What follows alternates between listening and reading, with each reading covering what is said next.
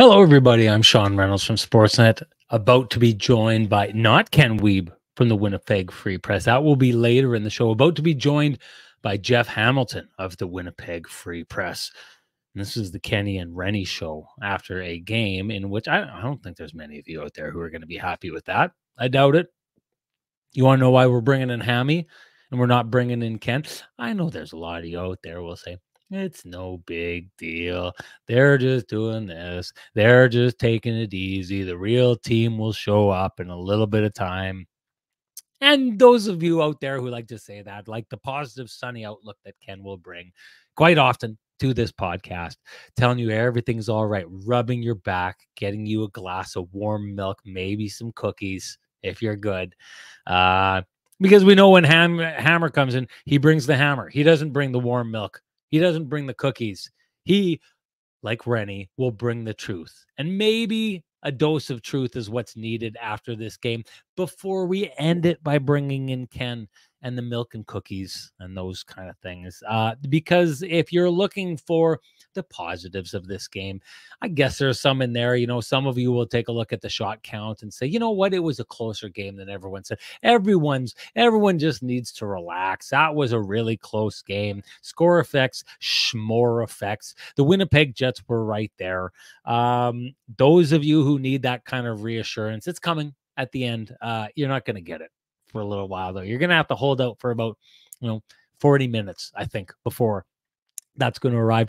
In the meantime, I'm going to try to give you a little bit of the truth. I don't know how much there is that I need to say about that game. That someone who is looking with an unvarnished view is not going to pick up terrible terrible defensive structure to that game. I mean, you take a look one after the other with these goals. Uh, you know, sixth goal of the game is the Jets essentially getting out competed. The first goal of the game uh, is three Jets players standing around a guy who goes to the middle, and I know that uh, it's mishandled by the defenseman, uh, but it's just a a Islanders player ready to pounce on the play, uh, and three Jets players surrounding him who are not. The second goal of that game, I know Jamie McLennan uh, was breaking it down in the first intermission, suggested it was the kind of goal that Connor Hellebuyck should have had. I don't necessarily pin this one on Count Connor Hellebuyck. What I do uh, take away from that situation is the third line is on for this, and it is essentially a two on one, and there are three Jets players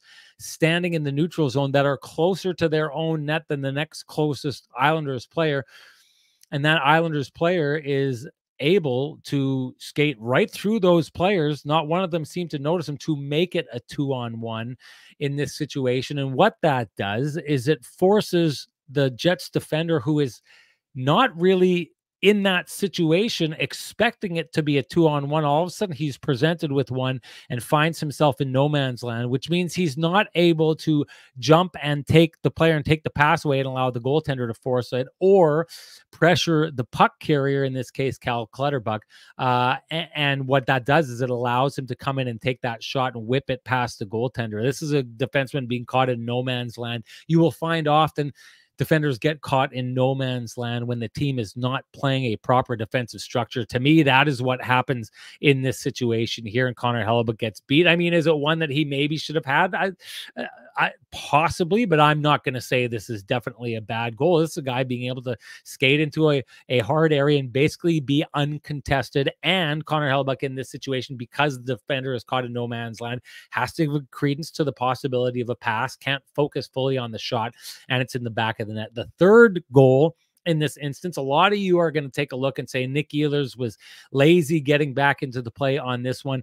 This is not the case. Uh, there's it's essentially a two on two, um, and uh, uh, Nick Ehlers, this is not his man. It's Josh Morrissey's man. Josh Morrissey bails on the play, heads to I don't know where in this case, but it's another scenario by which a two on one is created where the original defender on the puck carrier cannot focus on that man. And Nikolaj Ehlers is now trying to jump back into the play to cover a man that wasn't his.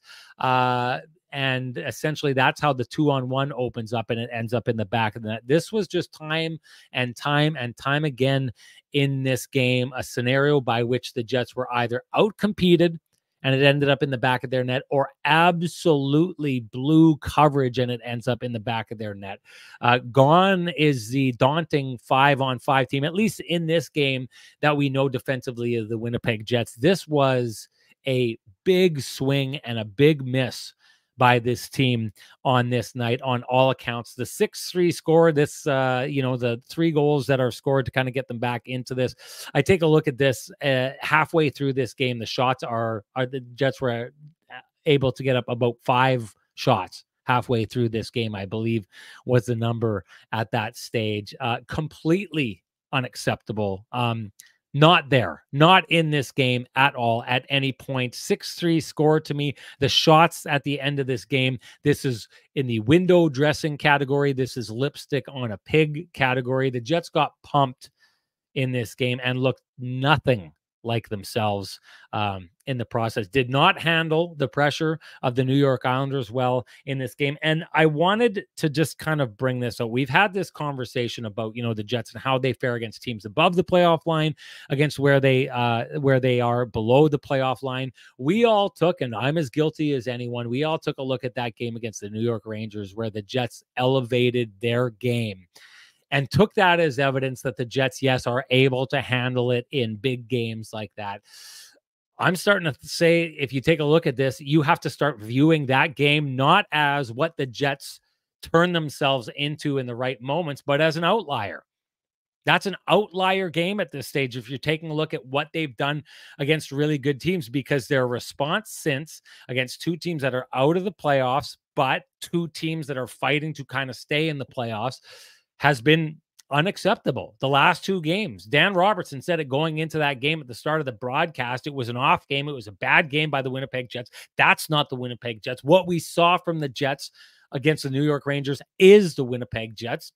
I think we're being rather presumptuous at this stage of the season to say that what we saw from the Winnipeg Jets is who the Jets are, and what we've seen from them the last two games is not who the Jets are if it's not presumptuous, I think it's at the very least wishful thinking potentially. And I wanted to break this down because now we've seen the Jets, you know, they've been the kind of team that takes care of business against teams just below the playoff line. But I keep talking about what this team has looked like after Christmas. The reason I do that is because before Christmas, the Winnipeg Jets were clearly, I think it would be very hard for anyone to take a look at what the Winnipeg Jets have been and find a consistent stretch of hockey where the Jets are what they were before Christmas. That absolute wagon that went rolling through the month of December and left no doubt they were one of the best teams in the NHL. I use that point after Christmas because I don't know you and you can go find your fancy stats, go take a look at your eye test and try and tell me a stretch of hockey in which this team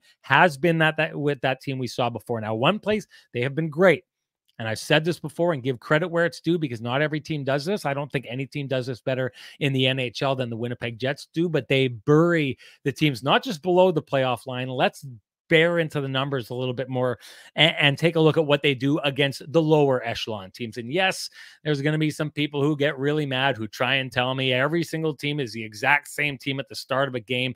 And then somehow they end up being the Chicago Blackhawks or the Anaheim Ducks by the end of the game when that's the team they're playing. Like, I'm sorry, you if you don't like me pointing out that some teams are lower echelon teams, you're just going to have to get over it. But I'll say this, Tishu, one of the guys, you want to stick around till the end of the podcast if you're here. Some good news coming for you before it's all said and done.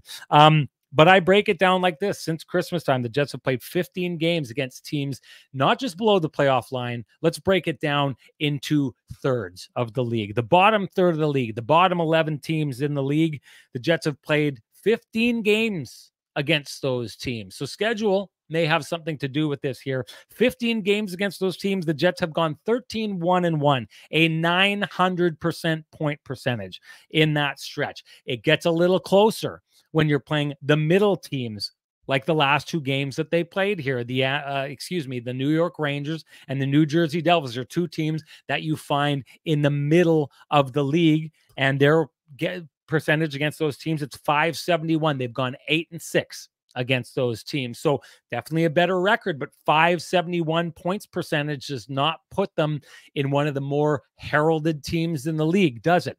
Then we go to the teams that are in the top 11, is what I've got it broken down into. Top 11 teams in the league. The Jets have gone three, five, and one over that stretch. A three, eight, nine points percentage against those teams. Why does this matter? Why am I bringing up these numbers? Well, I can tell you right now, the reason I'm doing that is because those bottom third of the league teams that the Jets have feasted on 15 games since Christmas, They've got one game left against those kind of teams. The Ottawa Senators is the final game that they have against the teams that they have destroyed. They have feasted on. They have an astounding winning percentage, points percentage against, and if that's the points percentage that has kept them where they are in the uh, in the hunt for first place in the Central Division, they can't rely on that. They had more games against bottom third teams since Christmas than any than the top third or the middle third. That is the group that they've been getting points on. That's the group they've been roasting. And that's not coming anymore because with 12 games left in the season, they've got one game left against those echelon of teams. They have six games left against middle echelon teams and five games left against upper echelon teams. You combine those winning percentages, what it tells us is that with 24 points left on the board, based on their winning percentage against the middle frame teams, based on their winning percentage against the top frame teams, we should expect, if things hold true down the stretch here, the Jets get 13 of their final 24 points. That's right. The Jets are just above a 500 hockey club when they're playing middle frame teams and upper echelon teams. This is what we should expect from them going forward. So, this is why I bring up the idea that the New York Rangers game, we all took it as this is who the Winnipeg Jets are. Dan Robertson said it at the beginning of the podcast. I'm probably guilty of saying it on the last uh, broadcast there you have to look at the possibility that that game is the outlier. And the Winnipeg Jets have had trouble since Christmas time getting sustained success against the teams that matter most, the teams that they are going to be playing in the next stretch. And that if the Jets were to get 13 of their last uh, possible 24 points down the stretch here. It's not something people should be surprised about. It's something that we should completely and totally expect based on what they've shown us about who they are down the stretch of this season after Christmas time. That's my take on the whole thing. It's time to bring in the other man with the best music in the business to give us his take on the whole thing. Ladies and gentlemen, it is time to bring down the hammer.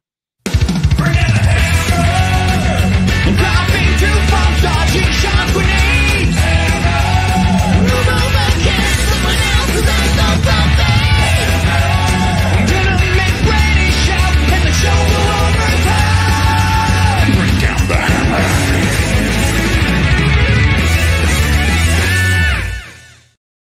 Oh. Oh, I that sets my hair on fire. That song uh, behind the scenes, I'm like absolutely headbanging through that whole thing. Good to have you here. It's been too long, mm-hmm. Hammy. Um, probably for those folks out there that don't like the truth telling and don't Uh-oh. like a little bit of the Uh-oh. hammer being brought down. This is a poor game to bring on the hammer. I think mm-hmm. that this is the kind of game that it makes complete and total sense because at this stage, I think what we should be doing as analysts is trying to decipher patterns from what we're seeing from the Winnipeg Jets. I tried to give a little bit of numbers there to decipher some of those patterns. I don't know how much of it you heard, and maybe you're not a mm-hmm. numbers guy. A lot of people out there won't be numbers people, but I am basically drawing from what I'm seeing here a team that, if you're looking for consistency against the kind of teams they will have to play in the playoffs, and we know the Jets are going to the playoffs, we know that this is happening. Mm-hmm. But, but what I'm deducing here is that we are not seeing consistent hockey at all from this team against the kind of teams that are going to matter. Like I said, 27 of a possible 30 points they've taken against the bottom third of the league. And clearly, anyone else is going to be, if you look at their numbers of the top teams, they're going to do better on average against the bottom third of the league, and it's going to get harder as you climb the ladder. So these numbers shouldn't necessarily be surprising. But the idea that the numbers tell us the Jets should expect to go just over 500 points percentage wise down the stretch here, am I way off there? No, I think you're off on one thing about the consist the lack of consistency. It's, it's the contrary. It has been consistent, consistently bad against good teams. And so it's not to me. It's look.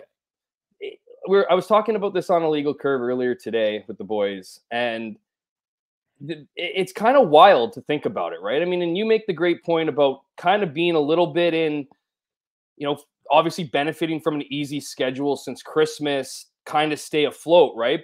But they're still battling, they're still battling for not just top spot in the central, top spot in the west. And yeah. so, you know, and this is a team that had a team that is in that situation despite being in the bottom third of both special teams. So it's just been their five on five play consist- consistently during that, you know, good stretch, of course, and and of course their defensive play. And yet they're you know, and yet they that they've been so inconsistent down the stretch here against playoff bound teams that it's perplexing to really f- figure out what this team is about. I mean, this is a good team. There's no denying that. Like this is a, you know, this is a talented team when they play the way we saw them play against New York, the way we've seen them play against Boston, you know, in the past this season. Like when they show up for those games, you have these feelings like this could be this could be 2018. This could be better than 2018. But then you look at games like this and you know, you say all the right things after New Jersey, right? You say all the, you know, Brendan Dillon gets in front of the microphones and he spits fire, and that's what he's known for. He's known for telling the truth. You have other guys echo a lot of the same sentiments of this wasn't good enough, special teams was bullshit, all these things. And then you just you're waiting for a response. And and that response is of course this game. And it's against an Isles team that, yeah, is going to be prickly because of of, of their play of late, but it, they've been bullied for you know for a good stretch here. And then the Jets come in. They're supposed to be the team that's the contender. They're supposed supposed to be the juggernaut in the equation. They're supposed to be the team that are supposed to put teams like the Islanders you know, to pasture, if you will. And it's the opposite. It's the opposite today. It's it's it's the Jets allowing the Isles to look like juggernauts. It's the Jets making guys like Cal Clutterbuck look like the top echelon players in the league. It's it's it's just no response. And you know, it it you know, I'm going to kind of flip over on the other foot for just a quick second. I don't know how much stock you want to put into these last two games, you know, whether or, or this game in particular, because this is a, the fourth game of a five game road trip. We know that the Jets have played a lot of games here. So I don't know if you want to take, you know, if you want to take uh, greater meaning from it or not, but there is, it is problematic here. The good news is there's still, well, you know, it's just one game. There's still an opportunity to, to you know, how, like, I guess salvage this road trip after looking like this team might go 5 and 0 after the first two games. Salvage it against, you know, a Washington team that will be much like the New York Islanders a team that's been scrappy a little bit here need to need need to wins to uh to to get into the playoffs. So they're going to face a similar test. I think, you know, can we extend that, you know, can we extend that we're about to see what this team's made of to this final game and this is a this is the end of a back to back. So how, what are we expecting from the Winnipeg Jets, you know, to, to show up tomorrow? Are they going to be a prickly team? Again, I think we're going to get a lot of answers tomorrow even if we even if we did get some today. You know, I want to dive into this because I, I I'm wondering about this. Larry TSG says, "Is Sean saying the Jets are frauds?" Um, I'm not using that moniker, but I what do. Are you? That when that came out, uh, and there was a player in that the Jets could potentially face. And they said that comment about the Jets being frauds. I know, I know the people in our chat room, people in Jets world, probably in the organization, but definitely the fan base was was downright offended by that. How dare you? How dare you talk about our team like that? And boy, you are going to get a comeuppance. Um, Which would I, be the case for all 32 teams and fan bases in the league. That's a pretty well, bad insult. It's a pretty bad insult, but I guess I guess this is what I'm saying here. What does the Jets and their uh, again how they've responded, you know, uh, the, the, way that they'll go and they'll kind of, you know, they they sure beat up on they uh, like they beat up on the Ducks and they beat up on the Columbus Blue Jackets, and then they went in and played a really really solid game against the Rangers. Then you kind of fall back like this, and before that, we were, you know, the talk was playing good one game against, uh, you know, uh, uh, lo- below the playoff line teams, then getting smoked by above the playoff line teams, and so on and so forth. I, I guess my take on this is like, I'm not going to go say this, but let's examine it from this perspective here. If you are that player out there who called the Winnipeg Jets frauds, and if you are the people out there who heard that comment and outside of Winnipeg heard that and said, huh, Winnipeg Jets frauds. Eh? I don't know. That sounds pretty harsh. Let's take a closer look at that team and what we've seen from this team since. is is there like I guess let's ask it like this. Since that comment has been made about the Winnipeg Jets, and I believe it happened right before that game that they were down three nothing against the Carolina Hurricanes, and then you know we're you know came back and scooped back and won that game. But have the Jets proven in any way? Could anyone make the argument? A Jets fan, a Jets player, someone in the Jets organization, can anyone outside outside truly say that the Winnipeg Jets have done enough to shed that moniker that was thrown on top of them that uh, that a lot of people at the time thought was not deserving? Well, I don't think it's deserving either. So I'll start there. I don't think it's deserving because I don't we don't know the answer yet. So, like, you know, someone can claim that they're fraud. Okay, hold on. I'm going to stop you right there. Not, okay. not. We don't know the answer. You're not yet. letting. People you're are, not letting me are, answer your question though. Like that's just. Yeah, the, the I, am going to. make I know what you asked me. I am going to make this quick question. distinction before that. It, okay. We don't know the answer yet, but in the past, the Winnipeg Jets two seasons ago started as the hottest team or the hottest start they'd ever had before. You, fell out of the playoffs. Next year, Yes, I'm just saying uh, we don't know the answer to that yet, but the Winnipeg Jets, to a degree, have earned that moniker in the past. And are we like so? It's all no. it's almost like you earned it. You need to shed it. Have they shed it? No, because no, obviously not. That's where you know that's what I was get, getting to. Is that yes, I think there because of your point, Sean. There there have been there has been evidence. There's been there's been clear cut examples of the Jets last season were one of the best teams for the first half of the year and then almost completed literally the most epic collapse in NHL history. That is that is quite the definition of being a fraud. You know, they would have been they would have been cemented automatic frauds had they somehow managed to miss out on the playoffs last season, but they got about as close as you possibly can get to full on fraud. So I understand that argument yes, the answer to this team, this team feels different. It looks different. The success has been different this year. It's been longer. It's been more sustained. It might be overshadowed by an easy schedule from, you know, since Christmas, which is absolutely the truth.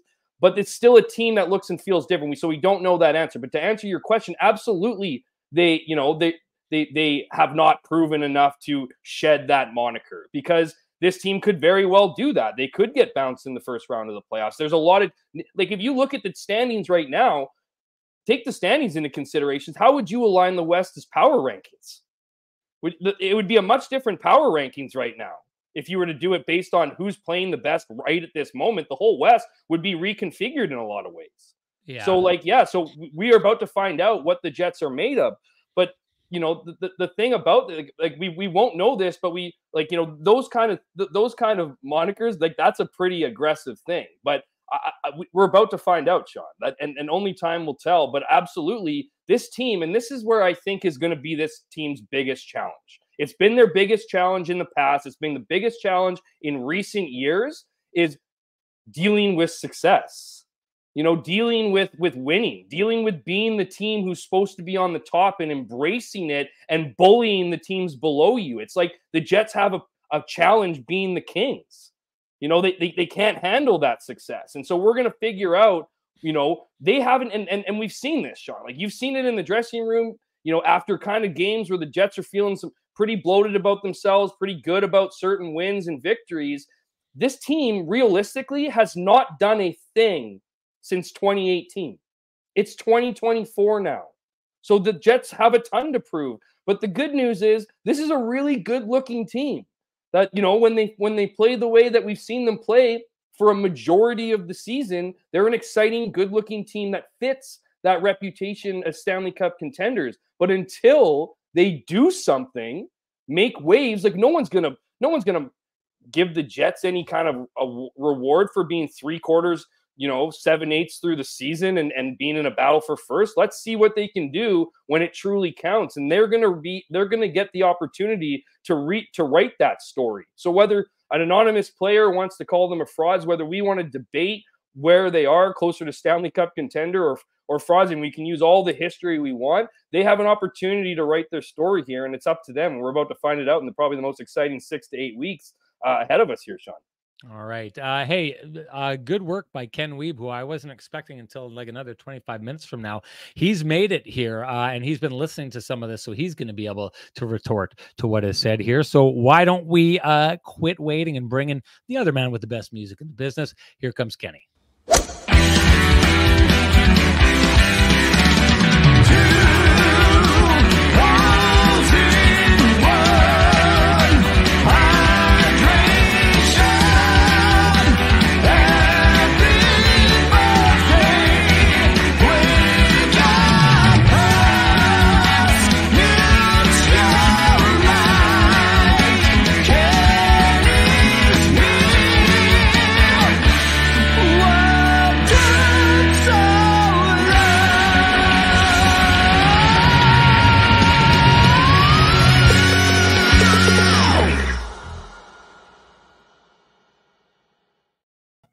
Because none of us are dressed like Vittorio men, I'm going to take this opportunity and say if you need something that looks good in your life because that Jets game looked anything but, uh, it's time to head on down to Corydon Avenue, walk into Vittorio Rossi, loudly proclaim that Kenny and Renny sent you, uh, ask for Frankie and the boys, and they will do you up right. They'll have you looking good, far better well, maybe as good as the New York Islanders look tonight or the Winnipeg Jets made them look. I'd also like to give the, I'm going to give the pristine roofing wake up call. I don't want to be going back and forth giving it to the Jets. They woke up, they didn't wake up, blah, blah. I'm just going to give it to Ken Wiebe, who woke up and got through traffic far quicker than I thought was possible from him. So great job as Kenny got the pristine roofing wake up call. Uh, of course, North End Rick is the guy you call to get the pristine roofing wake up call 204 981 6289 for any of your roofing and siding needs. You can also call Pristine Roofing at 1 204 237 7663. Remember their pay forward program that they are going with right now. If you know someone in your life who needs a new roof,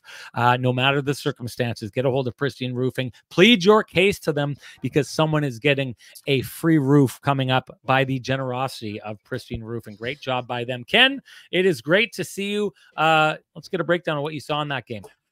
Yeah, great to be with the fellas. Uh, happy Saturday. Hope all is well there. Um, uh, probably for me, this is the worst Jet, Jets game of the season. I would say. Uh, I would say it was their poorest effort. Um, the you know. Oh, stop, Kenny! You're gonna make BA Split really upset now. You know, like this is. uh He was expecting yeah. you to come. Worst effort of the season. Sorry. He was expecting you to come in and make it all okay. Yeah, well, I, I, he thought your analysis a, uh, would be as sweet as the uh, as the uh, banana split. oh. Yeah, I'm gonna make it okay, but don't break his heart. No, no, it's uh again this is uh this is this is uh thanksgiving special minnesota wild. Uh, the only thing missing was the turkey and the leaking gravy for the jets. Uh, yeah i mean third period fine they pushed back a little bit good for them. Um but uh, just on the topic of what you guys were talking about i mean we're jets are only going to i'm with hammer here all the way and i don't even know why we're giving this uh, you know all the player this player that said this to the Spittin' Chiclets guy must be laughing because He's got everybody talking about it for the last two months when all it really matters is how the Jets are going to be playing in April and May if they happen to get to May or beyond or whatever it ends up being. Um, yeah, they've been a good team, but are they going to be the differentiator between being a good team and a great team? That is what the playoffs are for. That's what they're all about. And um, we're not gonna we're gonna we're gonna rate the Jets season on how they played against the New Jersey Devils or the New York Islanders. You can't dismiss it or ignore it. This was a this was a horrible effort. They were sleeping out of the gate. Uh, first goal is absolutely terrible. You you can't win a face-off in the defensive zone and somehow give up a goal. It's I understand there's a bad element of a bad bounce in there, but come on. Anyone who's been in a face-off, your responsibility as the right-handed defenseman is the front of the net. So yes, bad bounce for ne- for Neil Pionk that the puck went off of Vlad Namestnikov's skate and that he couldn't handle it. No problem. If you can't get the puck, you got to take Cal Clutterbuck there. He got he didn't get the puck, and as he was fishing for it, he oh missed oh the man. The man blew by him, and not only did the man blow by him, he blew by him for not one but two chances. So again, that that's that's not emblematic of how the Jets have played five on five. And I'm not laying the blame on Neil Pionk in a game where the Jets were a little bit sleepy out of the gate. It was a tough game for Neil Pionk. There's no way around that. He's had a good bounce back season, and we don't like to talk about minus plus minus very often, but dash four. It was a it, it, it was this time it was not uh, an, an, a bad reflection of what happened. It was an accurate reflection of what happened in the game. Out muscled on a couple of plays, uh, completely lost coverage on the other goal uh, for by Anders Lee. Now, again, that's not how Neal Pionk has played for the most part this year. And people saying, oh, he's been terrible all year, those people need the pristine roofing wake up call. He's had a pretty solid year overall, but there were too many mistakes today by Neal Pionk and by plenty of players wearing Jets jerseys. That's why I said I thought it was the worst effort of the year. The score was flattering, but you can't go crazy about this. The Jets had not lost back to back, yet, and I don't care about the level of competition, though I do understand it may have played a role. They hadn't lost back to back games since the All Star break, so let's not pretend the Jets have been awful for this stretch of games. They need to be better down the stretch. And guess what? Sean, Jeff, if the Jets play this way this week coming up against Edmonton, Vegas, against uh, uh, LA during the break, and then on that last trip, if they look like this against Colorado and Dallas, and then in the last game against Vancouver, then there's a problem for the Winnipeg Jets. And if that if that problem will lead to an early exit if they can't get this sorted out, um, yeah, I mean, I don't think they've been great the last while, but they've been okay. Now they need to raise their level of play. This is very simple. If they want to, they want to have a 2018 Magic Carpet Ride. They need to lock in here during the last. Now it's 12 games. And if it's not 12 games, it's got to be the last seven or eight, Sean, because we've talked about this before. That eight game losing skid at the end of the Canadian, uh, or seven or eight, whatever it ended up being in the Canadian division, it was indi- indicative of what was to come. Yes, they pulled three rabbits out of the hat in overtime against the Oilers and swept them, but that was it, right? So you can't ignore what's happening down the stretch. But I mean, let's see what happens here. The Jets will have ample opportunity to show themselves against really good teams. They're playing. Sean, you laid out the entire schedule. So the Jets will play plenty of those good teams and high end teams during the stretch.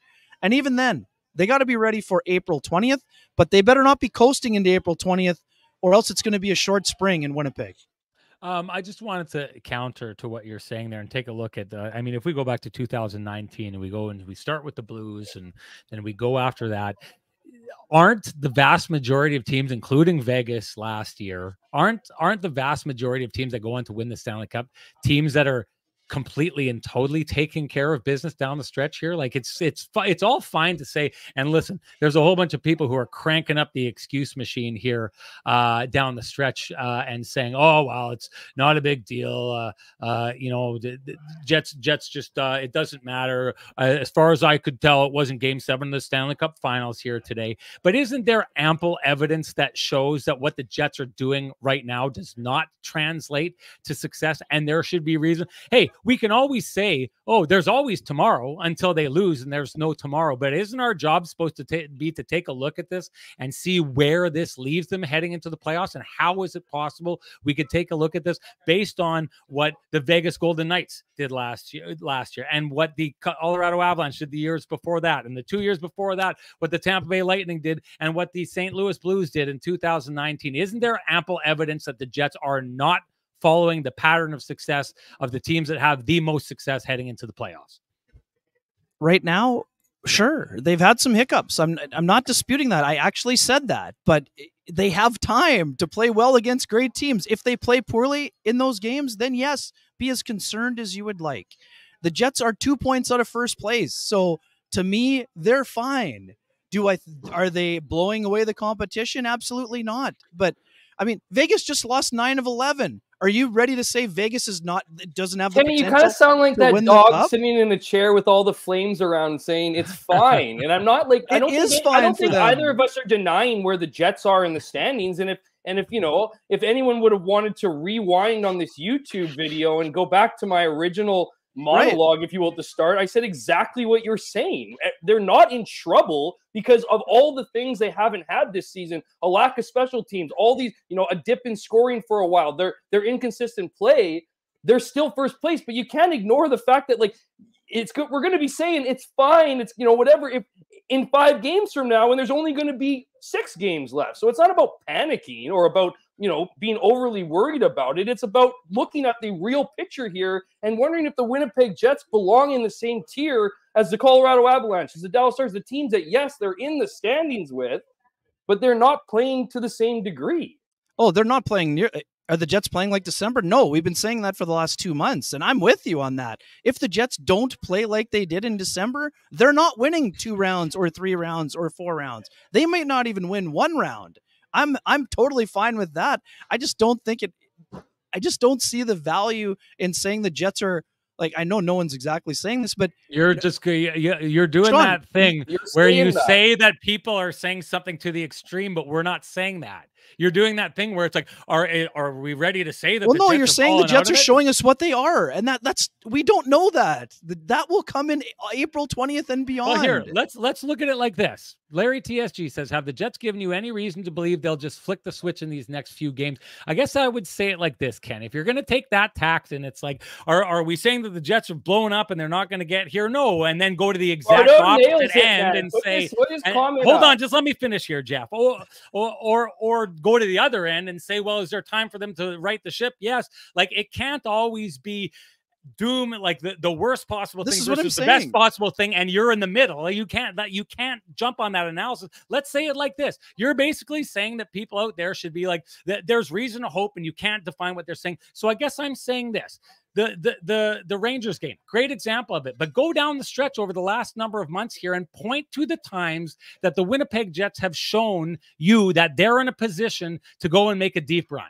What are the games? What give I'm saying is it requires context. All teams have had bad well, give losses us context. in the last month. Give us the context. Give us. Yeah, you can't do that. You can't say other teams have been bad, so it's okay to be bad. Give us the context of what the like. Let's break it down. Let's analyze. Sure. What have the Jets shown you? Give me examples of what they have shown you over the last two weeks, three weeks, four weeks since Christmas. Whatever you want that says they're right there, and everyone should expect that they will flip the switch and that they are ready to go on a long playoff run. Well, I mean, we've been talking about the examples the whole time. So give uh, us they're, the they're still one of the best, if not the best team in five on five. Their special teams let them down this week. They were horrible against the the New Jersey Devils. Three goals against. Today they were horrible defensively. Gave up goals off the rush, gave up goals with terrible coverage, gave up goals off face-off plays. Are there signs of cracks in the foundation? Yes. I'm with you there, no question about it. What I'm not saying is that every game is a referendum. What I'm saying is that I want to see them not, against we're Dallas. We're not saying that. We're very specifically hey, asking you to show us the games that make we're all, you think. We're, we're, arguing the same point, Kane. What we're talking about is that you go, you come on, you you reiterate everything we said about the negative. So I'm with you. Exactly, but then you come and then you go, but it's like, but we can't panic. No one's panicking. We're just acknowledging what we see in front of our faces. A well, I'm acknowledging it too. Exactly. That's why I don't know what we're debating here. I, I, guess Sean's just trying to get you to say the Jets aren't playing that well. I did I'm not it. trying. I'm not trying to get him to say that. I'm saying like you're you're making it sound like the idea of anyone being concerned well, no. about the Jets is ridiculous. Uh, that's, that's, not what, what I'm saying ma- at all. What I'm saying it's ridiculous it to say it's 2019. what I'm saying is show us what is happening here. And BA Split, Two who is just loving you absolutely here and thinking that you're coming to bat here and making these points, is trying to say no one in the league is playing good right now. When I'm taking a look in the Colorado Avalanche are nine one and zero oh in their last ten. The Carolina Hurricanes. Okay. Eight one and one. The Dallas Stars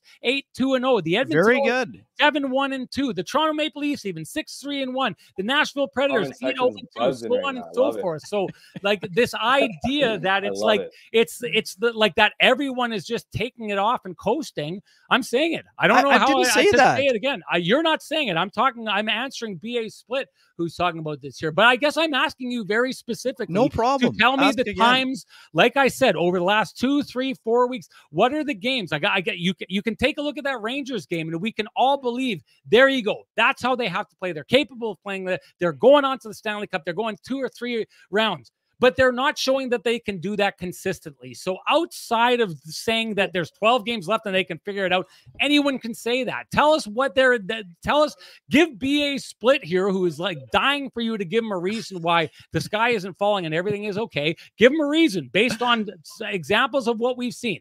No over problem. The, last the reason I've already said it, they have not lost consecutive games till today since January. That's almost two months of hockey. That's that's some level of consistency. Is it the level they showed in December? No, I'm with both of you on that.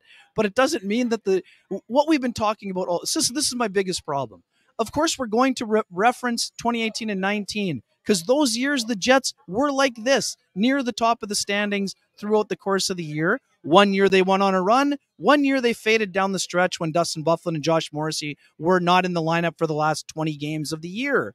So, yes, there are some issues to sort out, but we've spent all year talking about how the Jets have flipped over their roster, playing a totally different committed style. And now suddenly we're going to be saying that the Jets have no chance. That that's that doesn't that doesn't work for me.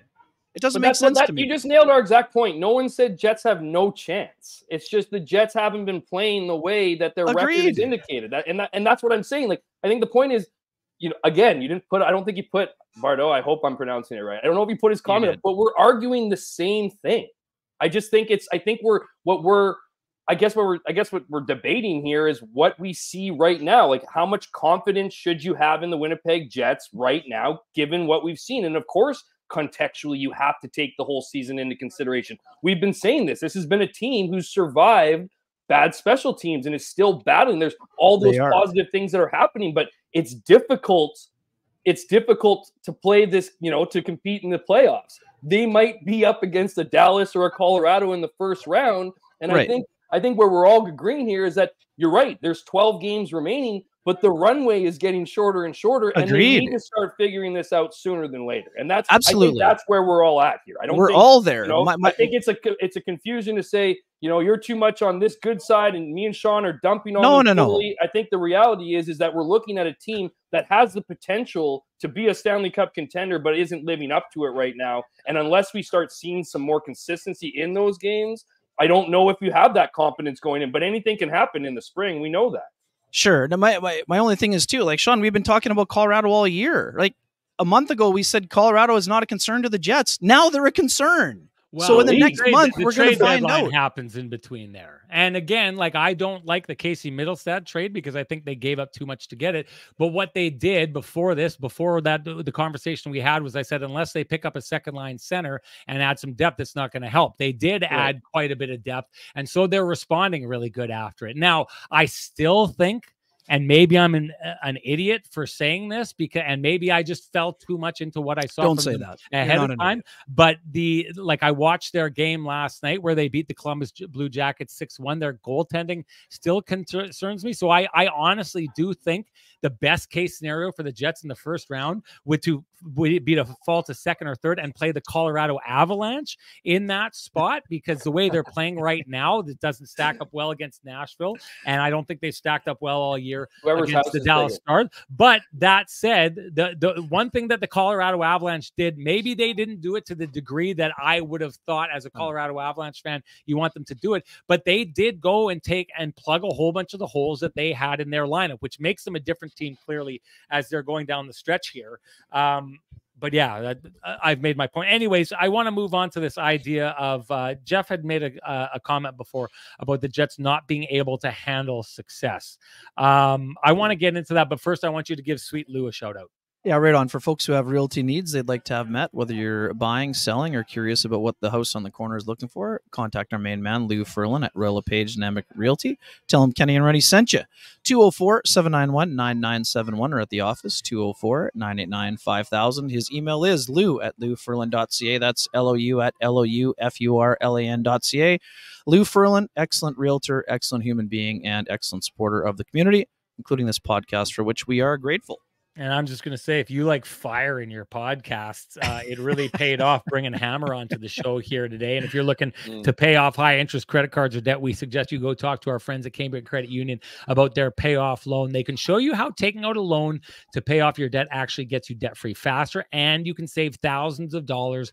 Go to cambrian.mb.ca to book an appointment online. Okay, Jeff said before this. Jeff, do you need to clarify, or yes. is there something specifically you, you, want to yeah, talk no, about when I, can't handle success? What I said, it was part of the context of talking about whether or not you know the fraud conversation, and obviously I disagreed with that title for this year. I just said as part of that argument, some of the issues that this team, one of the bigger issues that this team has had in the past, not necessarily this season, because look where they are in the standings this late into the year but they've dealt they've had a hard time dealing with success. And you know they are going to be put to the test here over this next 12 games because they're in a fight for first. They're expected to win games and the schedule and got harder.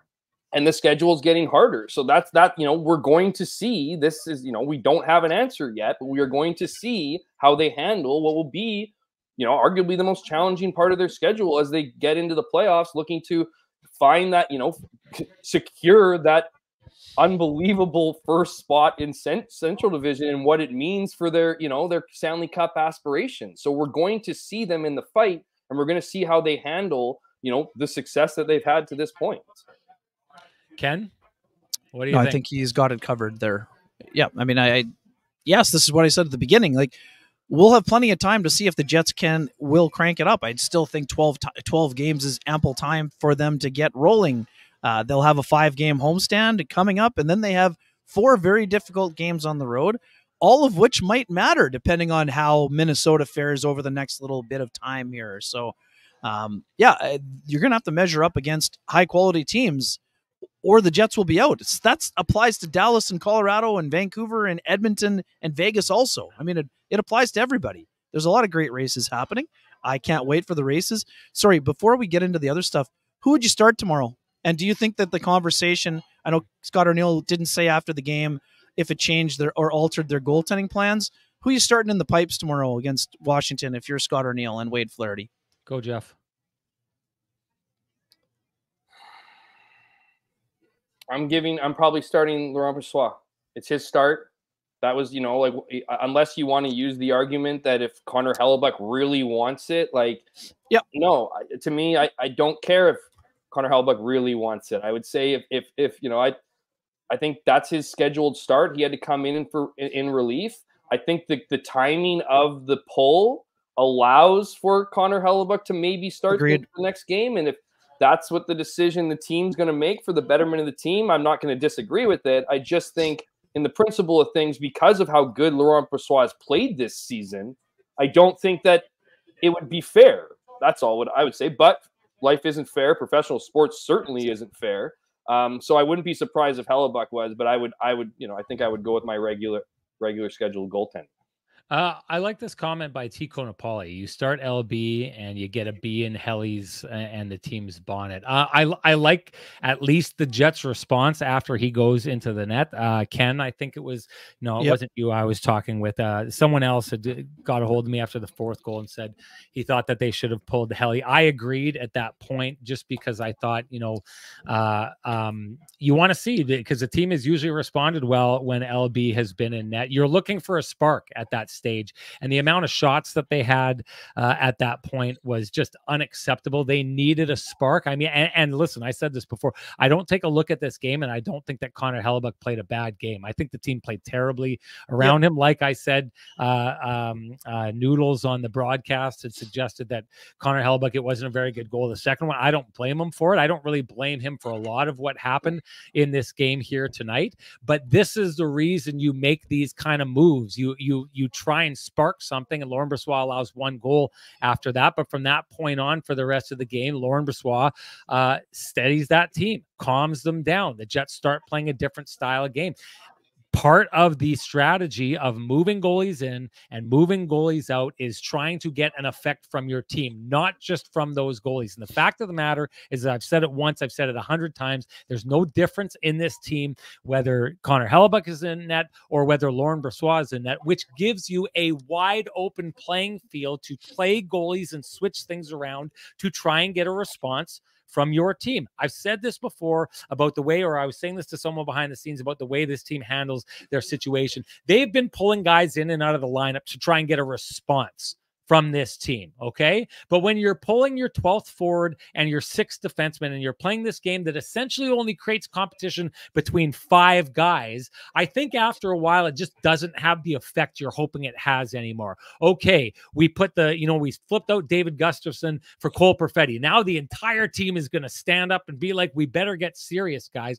That doesn't work anymore because let's be honest with ourselves 11 forwards and five defensemen, or maybe four defensemen we've seen in the past a little bit are unaffected by these Think changes. it ever had that effect though? by taking you know by I swapping out the the, beginning- the bottom six? You think it affected? You think it had a ripple effect to the rest of the lineup? I think I think I think there was. I, no. I think for because a while you're allowing guys to come in and get opportunity as well. No, I think for a while there, it was a sign to the team that it was like, we're not just going to sit back and be okay. We're going to make changes. Right. And so at the beginning, when they started kind of taking that tact, I think it had an effect on the team.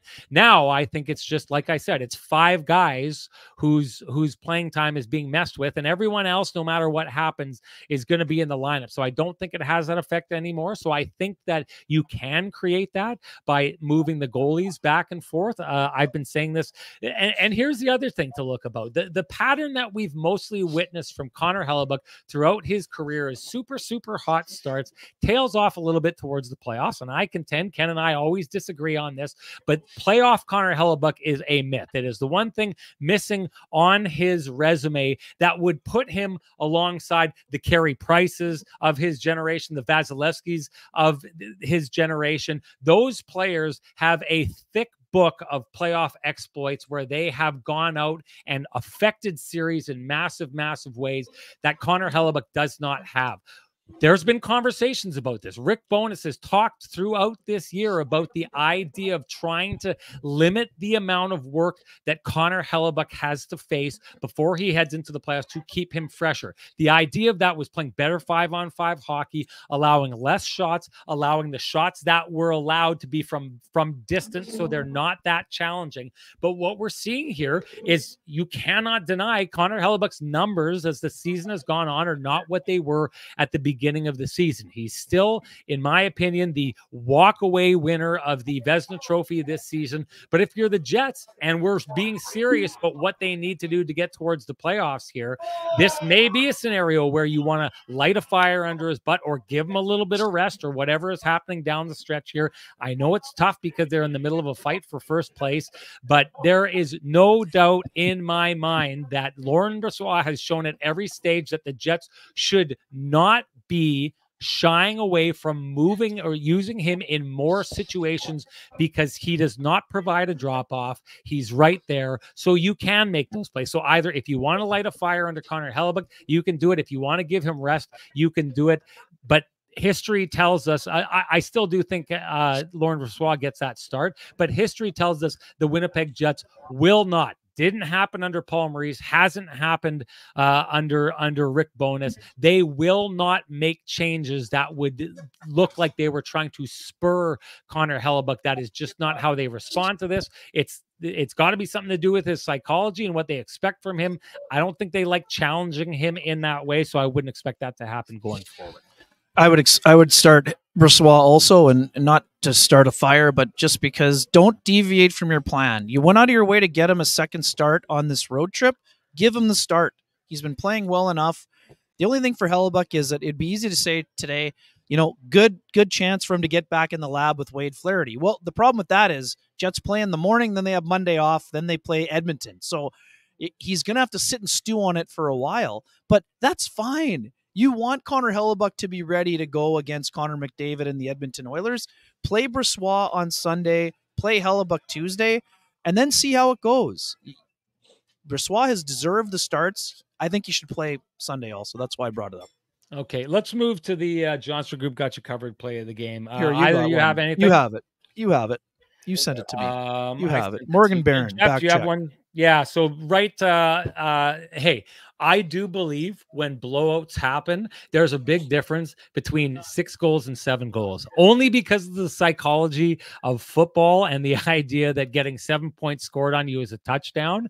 It's always like a little bit of a, whenever I see seven plus goals, for some reason in my mind, there's a big difference between six and seven. And Morgan Barron goes down and breaks up basically uh, what was almost a two on oh if he doesn't hustle back and get up into the play down the stretch there that ends up making sure that the Jets don't give up uh, uh, a converted touchdown in that game. Uh, not a lot of others to look at in that game, but my, Morgan Barron has my Johnson Group got you covered play of the game. Anything for you guys? I got No. one. Yeah. Yeah, I got Dylan Samberg has got you covered in a six-three loss. He was a plus two. Wow. Um, Impressive. Five seconds short of 20 minutes ice time or 26 shifts. You know, for all things considered, that's uh, not too bad. And I think it's evident that the uh, that Nate Schmidt also finishing a plus one. That third pairing was was was probably the best best pairing in the uh, in the game when you look, especially when you look at Neal Pionk and and uh, and Brendan Dillon both a minus four and and Morrissey and Demelo or Morrissey minus one, Demelo zero. I know people are going to attack me for plus minus, and it's and it's uh and how inconsequential it is, but certainly Dylan Samberg deserves a nod for for all things considered in that trash game for the Jets. Good Yep, pull. right on. Um, uh, that's the Kenny and Renny Johnson OGs. The Johnson Group uh, got you covered play of the game. And hey, do you run a small business in Canada? Look to Canada's number one employee benefits plan, Chambers Plan, to give you a competitive edge. Chambers Plan is the simple, stable, smart choice for over 30,000 businesses countrywide. Visit chamberplan.ca to learn more. All right. Uh, do we have ourselves a keg save of the game? Hammy, I'll start with you since you it on the Johnson Group. Let's see if you can keep it going here. Momentum, momentum. Um, I don't even know if I wrote one down. I did want to say this, so I will take my opportunity because when we went into, you gave Kenny a chance to break down his thoughts in the game, and you and me just went to broader issues. You know, Yeah. so we never even talked Yes. about. It. So I do want, I want to do take my time to say I was going to say, holy, I thought the Jets had the first momentum swing, and then by the ten minute mark, I was like, what the clutterbuck happened. Anyways, um, but savor the game. I don't have. Oh, whoa! I have big save on Horvat in in in tight late in the in the There first go. period. There you go. Enough? There you go. Are we That- doing like that's that? good enough. Yeah, Good enough. The shots were 21 to 4 at that point. When the shots were when the Couldn't tell you shots were what it was. 21 to 4 at that point, we're going to we're going to give it to Hellebuyck for the overworked uh, action uh, good good find right there. Yeah, I, you know what I'll say is uh, on that goal, um, the fifth goal of the game scored, which is just basically the Jets getting outworked in front of the net. Connor Hellebuyck stopped a bunch of those shots in tight, basically, you know, gave the Jets every opportunity in that moment to clear clear the crease. Um, and keep it from happening. So I'll give that sequence right before he allows the goal to Connor Hellebuck for at least Yep. giving the chance, uh, the Jets a chance to clear the front of the net. Uh, and that's my hashtag, the keg save of the game. Doesn't matter what we think, though, matters what you think. Share with us your hashtag, the keg save of the game. You're automatically entered to win a $50 gift certificate usable at any of the three fine keg locations here in the city of Winnipeg. And the winner from last podcast, that would be Mick Logerton. Mick Logerton, I Oh. believe Mick Logerton's comment came in the YouTube uh, comments afterwards. So Mick Logerton, uh, maybe that means you're not a in the moment watcher. Hopefully you didn't get scared away. I'll say this: Afternoon game though. Afternoon it- game though. Right, but there's 888 people in here right now. A lot of people get scared off by losses. So to all you brave souls who showed up, congratulations. Uh Mick Logerton, if you're not hearing it now, hopefully you'll hear it later. Uh if you do, you got to direct message me at SN Sean Reynolds. Give me your full name and give me your email, and I will have the keg send you a $50 gift certificate usable at any of their three fine keg locations here in the city of Winnipeg. Each location finer than the last. And that brings us to the hashtag TCB lamplighter of the game. We'll start with you, Ken. What do you got? I mean, the Islanders' goals were pretty. I love the bar down by Clutterbuck, but uh, for a guy who's gone through an awful lot mentally in the last uh, couple of months, I'm going to give the nod to Cole Perfetti. Uh, he has been struggling. We know that the first 40 games he was excellent, 29 points, two assists since, got his first goal in 24. Um, he's been he's a guy who's very hard on himself and has been going through a hard time. But uh, as someone who's a little familiar with the healthy scratch, uh, I, I got to give him the nod on this one. What do you got, Jeff? I actually I'm gonna I'm gonna give one for each. I, I just got to give credit to Clutterbuck's second goal. Just him Beautiful. stepping him stepping over. You know, he looked like he was he did his best Nathan Nathan uh, MacKinnon impression for a guy who had five goals heading into this game to pick up his sixth and then wire his seventh over. You know, pretty much the hole between his his shoulder and his neck. Um, I thought that was an impressive goal, but. Vladimir Mestikov, man, like I was I was waiting for him to to uh, drop the puck to his skate, kick it back up to his forehand, and, and, and finish off the Pavel Bure there. I Yeah. I was I was getting ready for it, but he he did arguably an even nicer move. So I, I'm moving over to uh, Namestnikov for that um, that highlight reel goal. That was that was speed, everything, speed and finish. I loved it. Also, also great play by Barron to provide the chip that allowed him to sneak behind the defense. And even Josh Morrissey doesn't get an assist, Sean, but he starts that play in the D zone, getting it to Demelo. Demelo with a really smart heads up play, and uh, the chip by Barron is uh, is high end there as well, and great finish by Namestnikov. Um, I'm going to do this. I want to come back to that goal, though. I'm going to hand out uh, because it's something I wanted to talk about quickly before we get out. We'll have to handle it after the hey, we hand out the lamp lamplighter. But I'm going to give it to Matthew uh, Mathew Barzal for the fifth oh, yeah. uh, goal of the game. The reason I do is because at that moment it just showed that you know they're up four one and the Islanders are coming with like the kind of effort that is going to like you talk about repeatable goals. Those are repeatable goals when you just simply outwork the other team, get to the front of their net Um, the, the, the fact that Connor Hellebuyck is so hard to beat in tight, the way that he just kind of chips it through him, finds a hole through him in that situation. To me, that's just like a goal scorer's touch. Mathew Barzal. All will. Um, if we think about uh, yeah, all will. Uh, and and I think we said this about Mathew Barzal. Walked into the league as a point per game player as a 20 year old, and under Barry Trotz was kind of broken back down uh, and built back up as a defensive player. We saw how good he was during those two Stanley Cup runs by the um, Tampa Bay Lightning, where the New York Islanders took them to the wall, and Mathew Barzal showing he was a playoff player. I know they haven't figured things out, and maybe you can point to him as a guy eh, with the New York Islanders, but hey, you know, who, who, as they've tailed off, maybe you point the finger at him. I just think Mathew Barzal is a really complete player that if uh uh, I remember my buddy had talked about, you know, a big, big swing to trade for him to bring him to the Jets. I think if you brought him to a team like the Jets, what he would be capable of, I think would be surprising. Me seeing him, a guy with that much skill, that pass that he makes to Hudson Fasching for the fourth goal of the game, uh, uh, and then that goal he's able to get, he flashed his skill, flashed his grit. Uh, this is the kind of guy that when they get into the playoffs is is the complete player. Uh, you will appreciate Matthew Barr Barzal whenever the next best on best tournament is that would uh, involve him in Canada because he's the kind of player you're going to be really happy to have on Team Canada. That's my TCB lamplighter of the game. Doesn't matter what these guys think or what I think, though. Uh, matters what you think. Share with us your hashtag lamplighter of the game. You're automatically entered to win a frosty, delicious eight pack of lamplighter ale brought to you by our friends at Trans Canada Brewing Company. If you cannot wait for Kenny and Renny, and in this case, Hammer, to gift you uh, your very own eight pack, you can head on down to Trans Canada Brewing Company, where they've got plenty of those eight packs down there at 11290 Kenaston. Join them in their tap room. You can go to their beer store. You can go get it on tap. You can get great pizza, great food under a great atmosphere, which you will know and find out if you are joining us at the April 6th version, the final K and R Kenny and Renny live podcast we will be hosting there. Sold out already. Thank you to everyone who bought those tickets. Uh, if anyone wants a chance at a, another Kenny and Renny event, there will be the big one, the year ender, where we send her. Uh, we'll keep you posted on when that's going to happen. It's all dependent on how the Jets do in the playoffs this year. But uh, uh thank you for all that. Time to announce our winner of the TCB lamplighter of the game from last show, and that would be Tishu. Tishu. Oh, uh, oh, you, you are on the clock. Uh, direct message me at SN Sean Reynolds. I didn't see him in the chat room here today.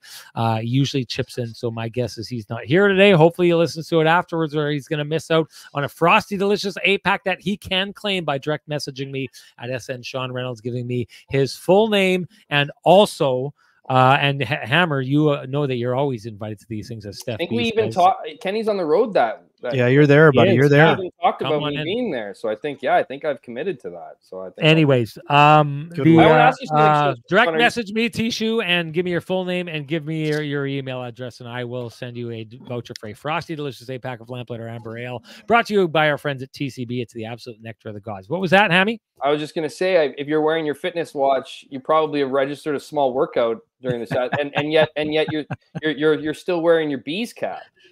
Keeping you on task is a job all in itself, Hammy. No, no, no, no uh, headband, no But I like it. It's worth it. It's worth it. Uh, you guys can go OT, but I got a bouncer. No, we're not going to go OT. Okay. Uh, we'll just shut it down. We're already in I was going to talk on something. We can go there after that. Uh, hey, um, chat room once again on fire. Appreciate. Sorry, you wanted to mention that goal. You. you. wanted to go back to Don't it. Don't worry about it. We'll go. Uh, if if it's no, do it now. I got a few minutes. No, if it stays a pattern, we'll go to it at another time. Uh, I'm not going to get into it now. Uh, great job, chat room. You rocked it as always. Hammy, it's always a pleasure to have you. Hopefully, we'll see you on April 6th. You're invited if you want to come. Ken, thank you for hustling and getting in earlier than I thought you were going to. You didn't give me much time to bash you behind the scenes, so uh, I'll have to wait for next time. Yeah, work a little uh, harder until. T- hey, just like the Jets were saying after the game, the best news about this show and this league, you'll have another chance tomorrow to get the exactly. bashing in. No doubt. Uh, one uh, one entity or the entities you should not bash uh, if you appreciate the conversations happening in this space is our sponsors who fight to keep the conversation going in this space for us that's Vittorio Rossi, Cambrian Credit Union, Pristine Roofing, Sweet Lou Furlan, the Johnston Group, the Keg, and of course TransCanada Brewing Company. Thank you to them. Thank you to all of you. We're going to do this again another matinee tomorrow as they take on the Washington Capitals, trying to bounce back. They could sure use it to change the way we talked about them in this podcast. Uh, hey, all you out there who think there's nothing to worry about, keep on trucking. All you who are worried, well, we'll be here to talk about it if there's any reason to worry after the game tomorrow. We'll talk to you then. Bye bye.